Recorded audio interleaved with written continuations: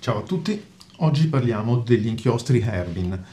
Herbin è un produttore che mm, ci mette a disposizione una gran varietà di, di inchiostri, um, sia nelle serie quelle normali, nel calamaio come, come questo da 30 mm, eh, nelle serie celebrative, quelle, quelle più importanti, quelle più prestigiose ed anche più costose, e nelle cartucce, ma eh, soprattutto possiamo trovare davvero tanti colori che accontentano un po' i gusti di tutti. Persino eh, Erbin ha in catalogo una serie di inchiostri profumati. Eh, le due linee celebrative di cui ci occuperemo in un altro video sono la 1798 e questo è quello della 1670 che hanno delle varietà diverse di eh, sfumature.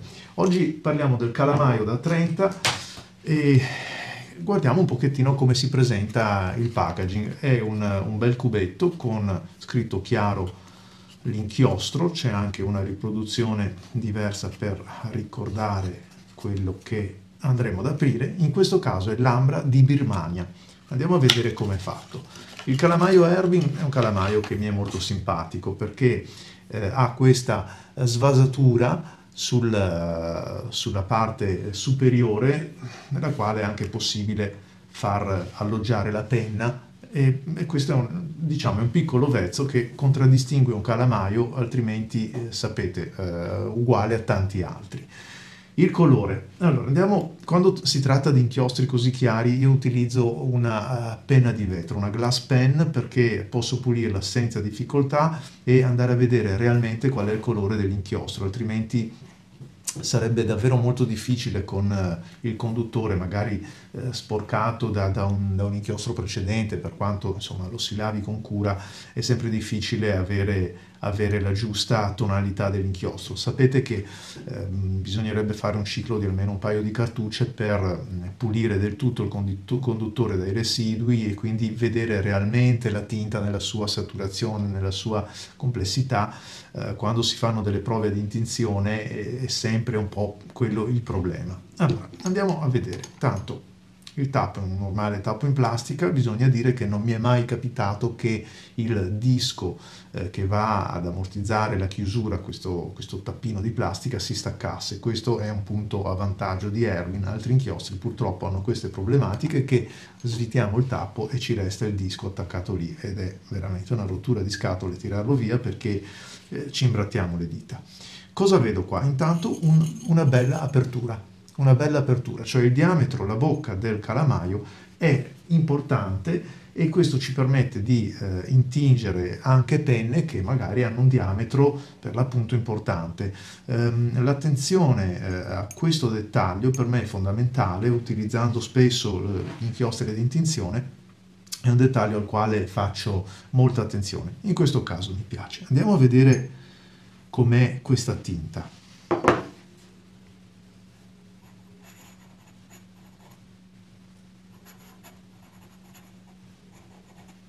Molto, molto particolare.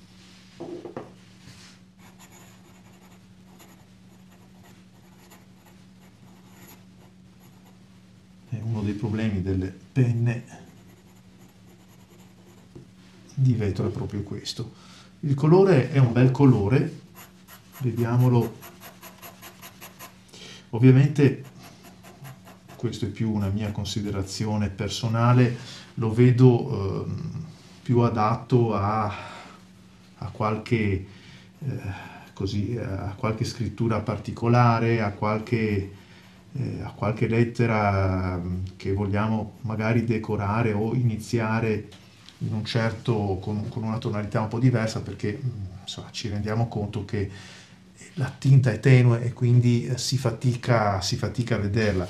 Io faccio sempre una prova nei miei video, lo avrete visto, ho sempre il controaltare di un quaderno o di un foglio comunque quadrettato o rigato perché è quello che mi consente di vedere quanto la tinta, quanto l'inchiostro risulti visibile quando c'è una tramatura prestampata. Tra l'altro ho usato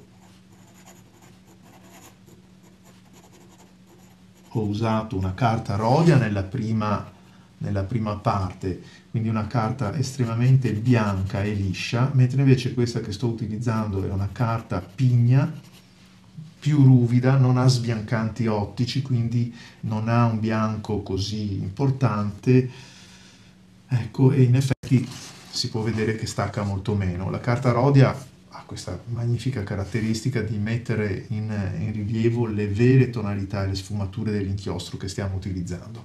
Ora che l'abbiamo visto così, andiamo a vedere invece con una penna stilografica con dei diversi pennini che cosa cambia.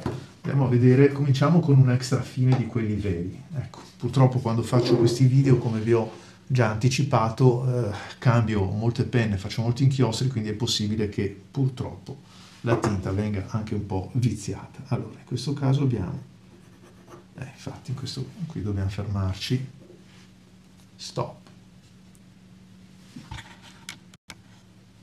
Allora, cominciamo a vedere un po' come si comporta questo inchiostro quando lo utilizziamo con un pennino extra fine.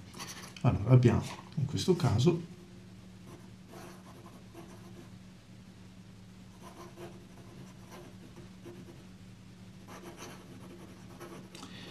in questo caso ci accorgiamo che effettivamente un pennino sottile, come questo qua che è un extra fine, ha delle difficoltà perché il, il tratto quasi sparisce.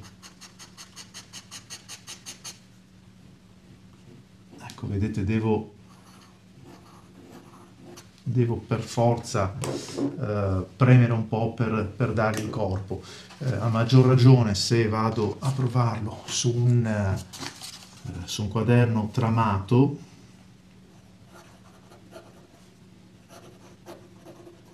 sparisce proprio.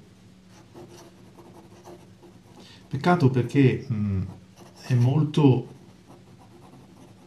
è molto bello e devo dire che anche una volta asciugato, come vedete, cambia pochissimo. Mm, eh, diciamo che perde un, solo un pochettino di brillantezza, ma non ma non la sua saturazione, non la sua carica cromatica, cioè si capisce benissimo che è l'Erbin Ambre de Birmanie anche quando è asciugato.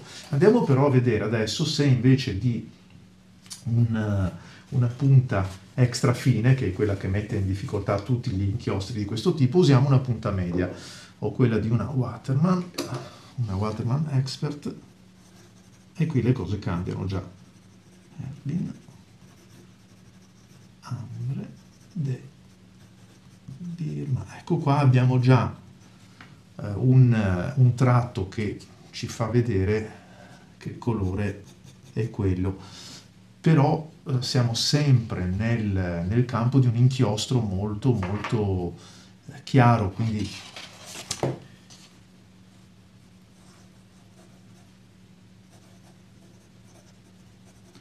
sulle carte tramate, secondo me, è veramente difficile. È veramente difficile. Andiamo a vedere, giusto come ultima prova, come cambia il tratto se utilizzo, visto che ho qui davanti questo, lo farò con un, un pennino flessibile come il Pilot Falcon. Che bello! Questo è proprio bello. Bello. Qui riusciamo a seconda del grado di pressione che diamo ad, avere, ad ottenere effettivamente una bella carica cromatica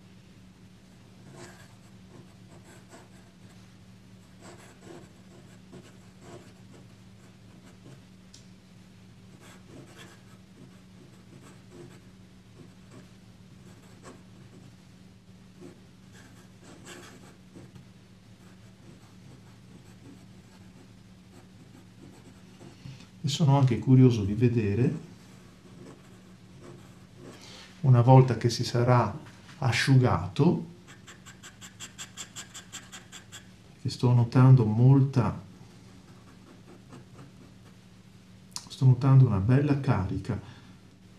Ecco qui bisogna dire la verità gli inchiostri Erbin non sono inchiostri particolarmente ehm, lubrificanti sono inchiostri eh, che lasciano il pennino tutto sommato eh, scoperto da una parte per aumentare la scorrevolezza. E allora quando abbiamo un pennino flessibile che divarica i rebbi eh, avrebbe bisogno di una tensioattività diversa, di una eh, viscosità un po' diversa per mantenere quella coesione eh, delle molecole tra un rebbo e l'altro nel momento in cui si separano. Però guardate che meraviglia, io finalmente riesco a vedere un bel colore molto anche con un effetto shading che a me piace molto a seconda della pressione e della velocità come vedete si deposita più o meno vediamo se riesco a farvelo vedere eh, allora si deposita più o meno eh, inchiostro e quindi ci dà la possibilità di valutare